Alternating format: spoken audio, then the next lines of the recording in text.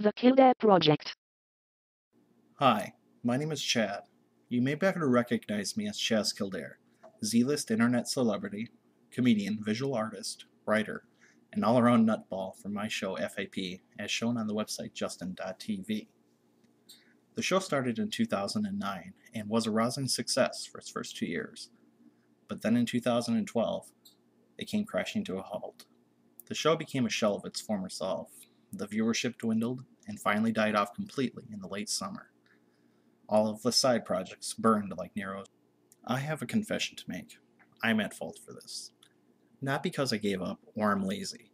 It's because I have suffered for years with a mental condition called depression. In early 2012, it started again, and what I like to call my shadow returned. Deep inside, I became miserable. My creativity, spark, and passion were gone thanks to events in my real life and in my own mind.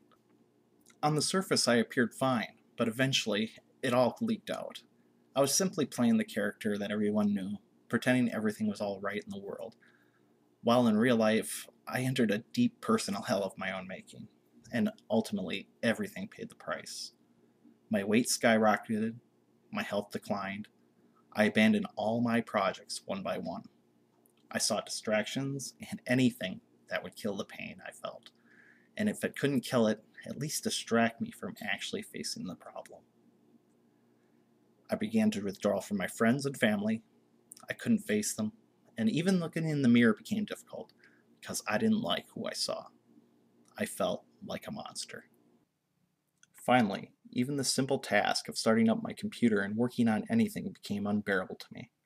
Rather than fight through it, I simply gave up. I told everyone that everything was fine, everything just jumped the shark, uh, the course was run, and I would focus on my career. Everything was really fine. Too bad it was all a lie. I wasn't living because I thought I didn't deserve to live. I was merely existing, taking up space, waiting for the day I would simply wouldn't wake up anymore.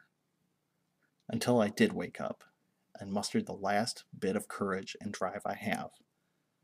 For the project, this time, is me. I need to change. I have to change. My family needs me, my friends need me, my work needs me, and finally, I need me.